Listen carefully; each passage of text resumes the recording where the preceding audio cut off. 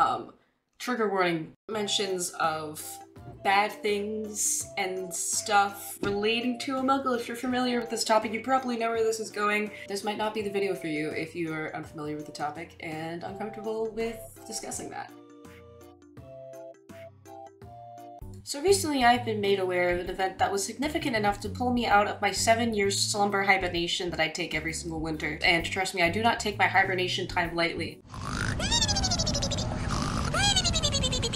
So you know that this is a very important issue. Seemingly out of the blue, the creator and host of Omegle has decided to terminate the website, which has come as a shock to a lot of us. The service randomly placed users in online chat rooms, as we all know, uh, has, has some controversial uh, happenings associated with it, you could say. I personally have experienced coming across things and people on Omegle that have haunted my dreams and thoughts ever since. Oh, how old are you?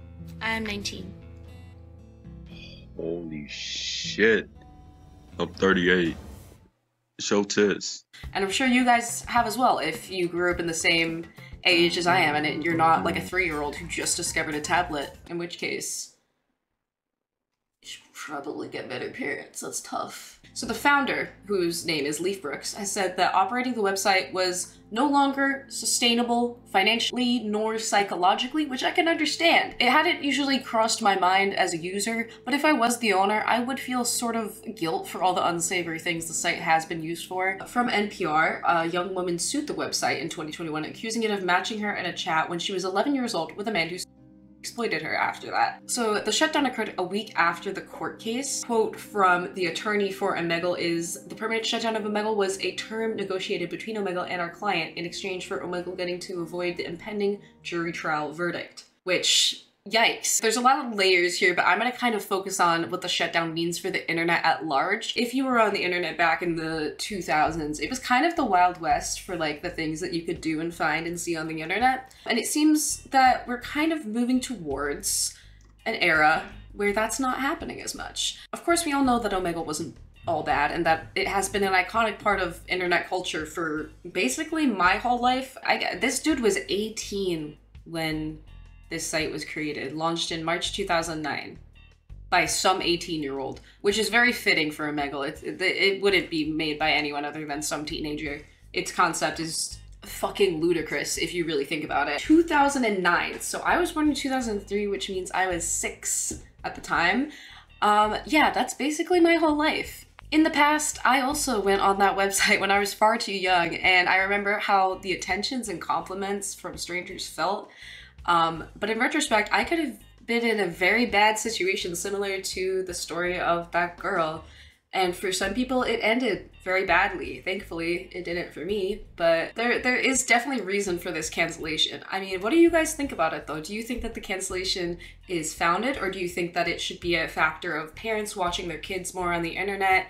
What do you think? Personally, the the concept of Omegle is not necessarily something that can't happen, but the way that it was being executed definitely wasn't serving the purpose of keeping people safe. It seems as time moves forward, the internet becomes more and more restricted, and I'm not entirely sure if that's a good or bad thing.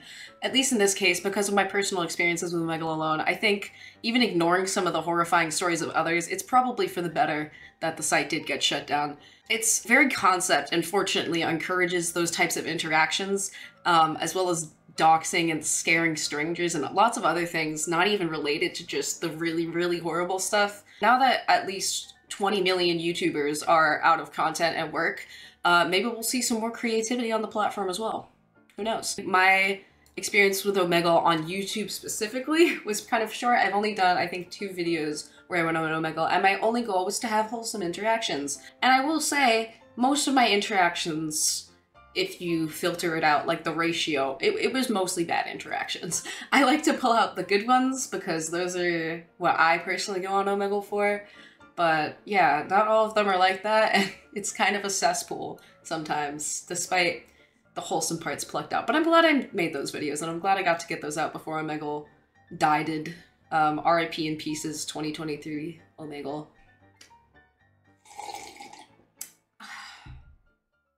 Do you like my shades? Hold on. Absolutely styling, my guy. Thank you so much. I love you. Have a wonderful day. Hi. little ducks, they are so precious. little birds. This one's name is Squeaks. Squeaks! Hi, Squeaks! Oh my goodness. Yeah, yeah. Oh. We haven't named this one yet. It's less than like 24 hours old, so. He's so cute. I have. I have a dick. Sorry. You've tried? Yeah, I have Tourette's. Yeah. Nice. I don't know. Is that the right response? I'm sorry. no, you're fine. Yeah. Merci mm. beaucoup. Merci beaucoup. Merci beaucoup. Oui.